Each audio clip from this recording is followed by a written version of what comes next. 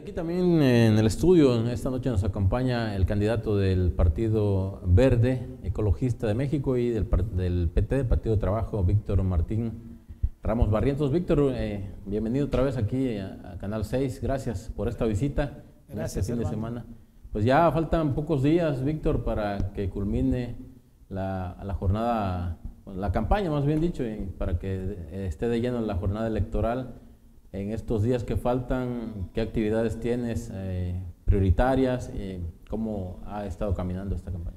Mira, fíjate, eh, hoy caminé hacia Coatlán y bueno, literalmente nuestra campaña ha sido caminar casa por casa. Eh, últimamente ya hay unas pequeñas reuniones que la misma gente se encarga de organizar pero el día de mañana quisiera aprovechar la oportunidad de estar aquí, invitar a todos los productores de mango. Está la Asociación de Productores de Mango de los San Luises o del municipio de Tecpan de Galeana, organizando una reunión en San Luis de la Loma, en la cancha de básquetbol techada, eh, donde obviamente me invitaron a mí como parte de la asociación. Ya inclusive nosotros también reportamos el evento ante el INE porque voy, ajá, porque voy a estar ahí físicamente presente. Y fue un evento de un momento a otro. Yo quiero agradecer a Ernesto Moreno Tapia, quien preside la asociación, de la invitación. Me invitó apenas el día de hoy, pero creo que es importante. Me gustaría aprovechar este espacio para hablarle a los productores de mango. Tenemos una oportunidad de oro eh, de poner a un presidente municipal que emane del sector. Somos el sector de mayor producción en el municipio de Tecpan de Galeana somos el sector que más ingresos genera al municipio y tenemos una oportunidad de oro de mejorar nuestras condiciones. No esperemos a que nos pase lo que les pasó a los productores de mango. Es un momento, estamos en el momento, bueno, si no el mejor, pero eh, tenemos 20 años con una problemática exacta. Me gustaría comentarle a los productores de mango también de todo el municipio que de yo llegar este mediodía fue inaugurada una desde el primer día Vamos a poner el dedo en el renglón para que las presas o las derivadoras que están eh, solicitadas ya desde hace muchísimos años, entiendo que desde 1975, cuando se hace la derivadora de Atoyac de Álvarez, se solicita una acá para el río de Tecpan de Galeana y otra para el río de los San Luises. Y desde entonces no se han logrado. Y no se han logrado porque porque como ciudadanos no nos hemos organizado y no hemos hecho la presión social que se requiere para que ese proyecto se aterrice. De yo llegar a la presidencia municipal es un compromiso que asumo con todos los agricultores, ganaderos y de la zona también de pesca que tiene que ver con las lagunas. Yo quiero hacer un compromiso con la gente. Si llego, obviamente voy a ser un presidente municipal empático con el sector primario, con la ganadería, la agricultura y la pesca, porque yo vengo de la ganadería y de la agricultura. En estos días, en estos, ya para el cierre, nosotros no pensamos hacer un evento multi, ¿cómo se dice? cierre de campaña. Un evento masivo, ¿sale? Porque ahorita acabo de pasar por el Suchi, le estaba cerrado ahí, cuando venía camino hacia acá, hay un evento de PRI-PRD, Increíble la cantidad de dinero que se está tirando ahí. Y ese dinero es de la ciudadanía.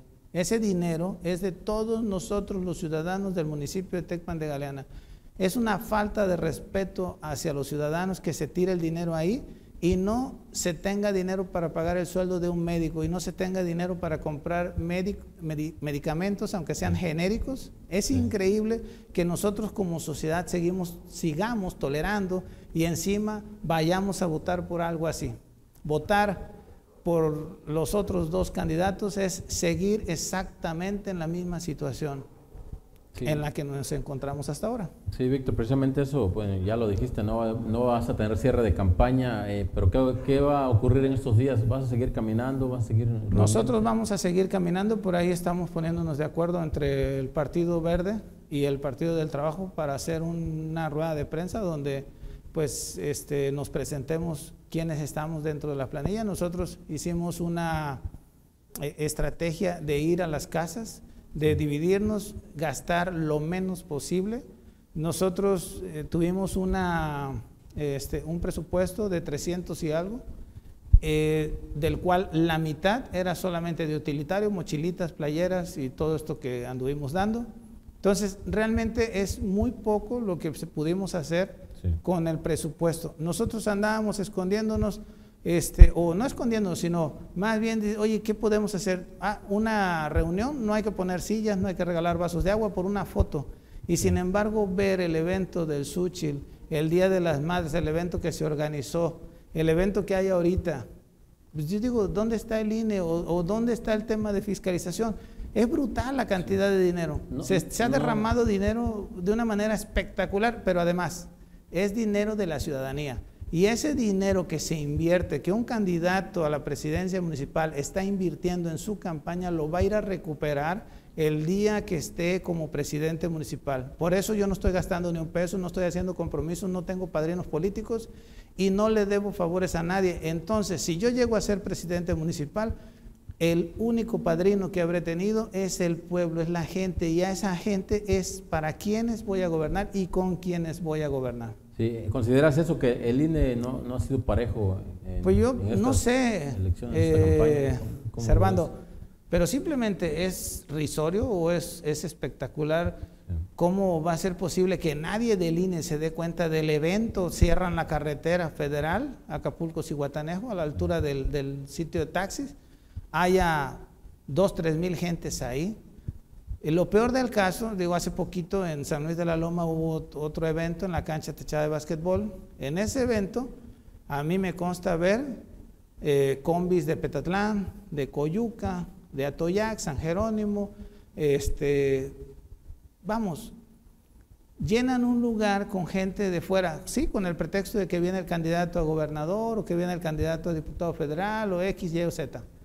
Pero finalmente ese dinero que se está tirando en las campañas políticas es dinero del pueblo, es dinero de la sociedad, es dinero de nuestros impuestos.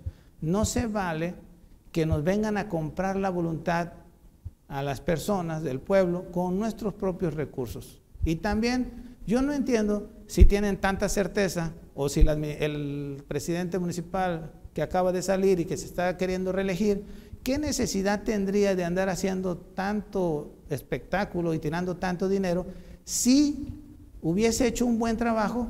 Pues vamos, si yo tengo la oportunidad de ser presidente municipal y me dedico a trabajar, pues me, echo a la maca literalmente en la siguiente este, candidatura, si es que me voy a reelegir.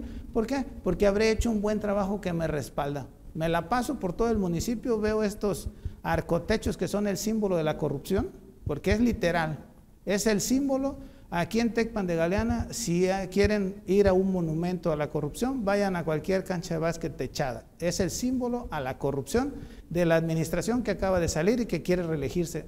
Hombre, por favor, al ciudadano que piensa darle su confianza a una persona así, no castigues de esa manera a tus hijos y a tus nietos. ¿Por qué? Porque vas a seguir sumiendo en la miseria a otras generaciones si tú le das el voto a una persona que con la mano en la cintura ha hecho despilfarro de los dineros del municipio que son de todos los ciudadanos. Todas las propiedades que se ha comprado aquí en el municipio, en Atoyag y en Acapulco, es dinero que ha sacado del municipio, que es dinero del pueblo. No puede ser posible, por favor. Y eso puede decir, no, es que nos dedicamos a hacer la obra y que eso hay una ganancia adicional. Sí, pero no puedes, eso se llama también nepotismo, cuando le das la chamba a tu padre.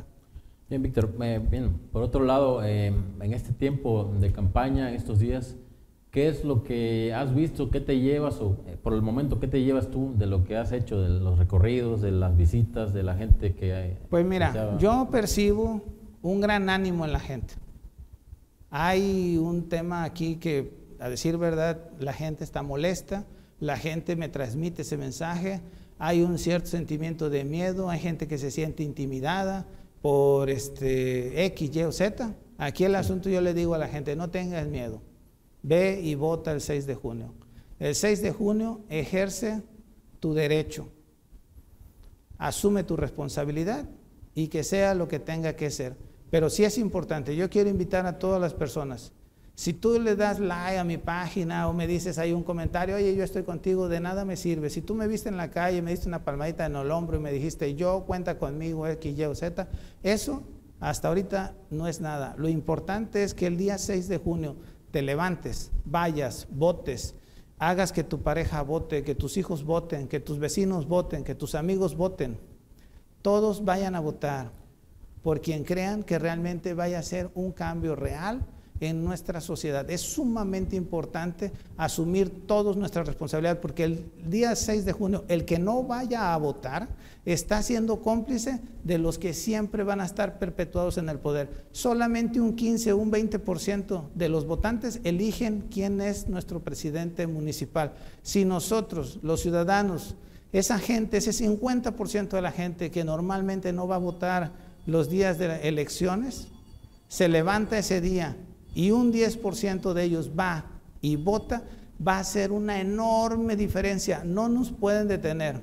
Nadie tenía contemplados hace tres años que Morena fuese a hacer el impacto que hizo. Aquí tenemos la oportunidad de que un ciudadano llegue a la presidencia municipal y haga la diferencia. Por favor, este próximo 6 de junio, hagamos la diferencia. Por lo pronto, ¿cuál es la, expectativa que tienes para esta, este 6 de junio? Mira, independientemente del resultado, Servando, lo que pasa es que yo físicamente de mano he saludado a más de 6 mil personas. Personas que me han dicho, cuenta con mi voto y el de mi familia. Si eso fuese cierto, porque yo también soy incrédulo, yo también digo, bueno, a lo mejor me dio una palmadita en el hombro y ándale así como me dice a mí, le dice a cualquier otro candidato. La verdad es que no lo sé, nunca he participado en unas elecciones, no tengo ni idea, pero esto de que armen todo un pancho y hagan un alboroto como el que está ahorita aquí en el Suchil, ese circo nos cuesta a los ciudadanos. Es importante saber eso y que no nos intimide y que diga la gente, no, pues ya de por sí ese amigo va a ganar, porque mira el montón de gente que hay ahí, por eso lo hacen. Lo hacen a propósito, lo hacen para intimidar a la gente que normalmente no va y vota porque dice, no, pues ya ganó porque tiene mucha gente. No es cierto. lo real es el día 6. Si tú te levantas de tu cama, de tu sofá, de tu hamaca y vas y votas, tú vas a marcar la diferencia. Y vota, por favor, este próximo 6 de junio por alguien que tú creas que realmente valga la pena. También, ah, sí, Víctor, ¿cómo, ¿cómo, también esperar, eh, ya que en Acapulco, en otros municipios han sucedido cosas de violencia, incluso directamente a los candidatos. ¿Cómo, cómo el llamado tú que harías para esto? Mira, yo creo que la política es eso. Hay que señalar lo que haya que señalar, pero esto no es personal. Esto es política. Finalmente va a pasar el día 6 de junio y nuestras vidas van a continuar. Yo voy a seguir con mi empresa o con mis negocios este, seguramente si gano, pues me incorporaré a, la cabecera municipal. Si pierdo, de todas maneras meteré regidores y esos regidores servirán para gestionar obra. Yo lo que le quiero aprovechar y decirle a la gente, más allá del resultado, en mí tienen a un amigo y alguien que les puede ayudar a llevar a cabo sus proyectos. Eso es lo que realmente importa. el tema de la violencia, lo que ha venido pasando en Acapulco, eh, la verdad es que es lamentable. Yo creo que no se debería de, llegar a estos extremos, de intimidar a algunos candidatos a través de la violencia. Yo creo que por ese lado, pues no se vale y habría que hacer un llamado al, gobierno de la República para que de alguna manera eh, no vuelva a pasar esto, porque es sumamente importante que tengamos conciencia de que los partidos políticos lo que buscan de alguna manera es dividir y fraccionar a la sociedad. Ya es tiempo que como ciudadanos nos unamos. Yo el mensaje que le voy dando a la gente es que más allá de quien llegue a la siguiente administración, sí seamos ciudadanos exigentes. Vayamos y hagamos que las cosas sucedan. Bien, Víctor, por último, eh, tu equipo, tus equipos, el PT, el Verde, ¿cómo se encuentran? ¿Qué han platicado? ¿Cuál es el...? Pues mira, hay un gran ánimo. Eh, Miguel Alvarado con quien, va como primer regidor, o Linka Ayala que va en segunda regiduría, veo que hay un gran ánimo. Eh, se sienten, la gente cuando salen, me hablan ellos, oye, mira que hay una buena recepción. En el caso del PT, este, Alfredo Galeana, también lo veo con una gran actitud, un buen ánimo. Creemos, más allá de lo que suceda, nosotros ya realmente nos sentimos ganadores. Somos un equipo que con una cantidad mínima de dinero hemos logrado lo que nadie en la historia se hubiese imaginado que hubiésemos logrado, hacer conciencia. Eso a mí, yo agradezco a la vida, agradezco a Dios la oportunidad de haber tenido contacto con tanta gente y poder tener eh, la oportunidad de hacer conciencia. Más allá de lo que suceda, eh, lo que ya hicimos, Eso ya va a marcar un precedente. Y esto es historia, es historia pura. En el municipio de Tecpan de Galeana este partido no existía. A partir del 6 de junio en adelante tal vez se convierta en la segunda o tercera fuerza política del municipio y este se va a convertir en una tercera o cuarta fuerza política. Entonces, realmente lo que estamos haciendo es histórico. Ahora, yo sí quiero mandar un mensaje a la ciudadanía en general. Si ustedes confían en nosotros, denos la oportunidad. No los vamos a defraudar. Muy bien, Víctor, pues muchas gracias por eh, haber asistido aquí al estudio de Canal 6. Y pues ya faltan pocos días, vamos a estar al, pendiente de lo que vaya sucediendo con las campañas. Y pues muchas gracias, buenas noches. Gracias igualmente.